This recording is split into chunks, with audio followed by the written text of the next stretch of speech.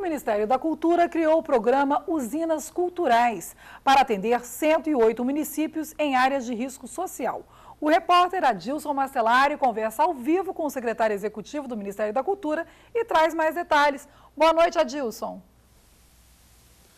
Boa noite, Madeleine. Além desses 108 municípios, todas as capitais do país também vão ser habilitadas pelo programa Usinas Culturais, totalizando então 135 municípios. E para a gente saber mais sobre isso, eu converso agora com o Vitor Ortiz, do Ministério da Cultura. Importante explicar o que são as usinas culturais. As usinas culturais são um novo programa do Ministério da Cultura. É um programa que integrará a rede de cidadania cultural do Ministério, que envolve outras ações já em andamento como por exemplo o programa Cultura Viva dos pontos de cultura, e que está sendo ofertado a, a essas prefeituras, a essas cidades, para que nós possamos recuperar espaços públicos já existentes em áreas de alta vulnerabilidade social é, para a execução das atividades do programa. Né?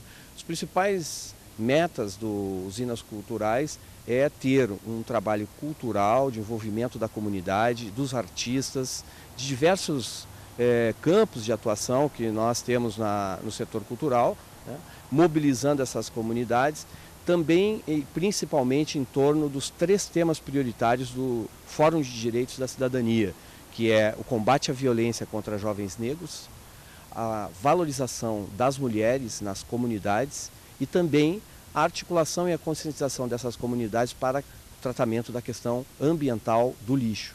Esses municípios foram escolhidos pelo Fórum de Direitos da Cidadania. Quais foram os critérios para essa escolha? O, o principal critério é que esses municípios juntos, eles, eles é, representam né, a 50% dos homicídios que ocorrem no Brasil, ocorrem nessas cidades, e, em áreas de alta vulnerabilidade destes municípios.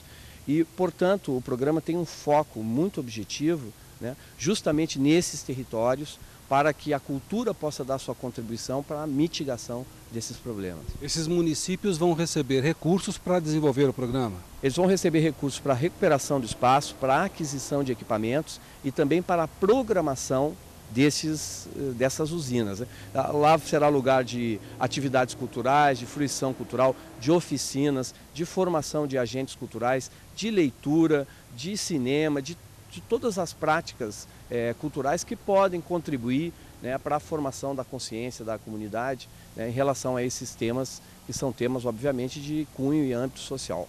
E eles precisam se inscrever para poder participar do programa. É, e nesse momento todas essas prefeituras estão sendo chamadas, né? elas podem buscar o site do Ministério da Cultura, www.cultura.gov.br, para obter mais informações, cadastrar lá o seu programa, o seu projeto e a sua intenção de estar dentro dos usinas culturais.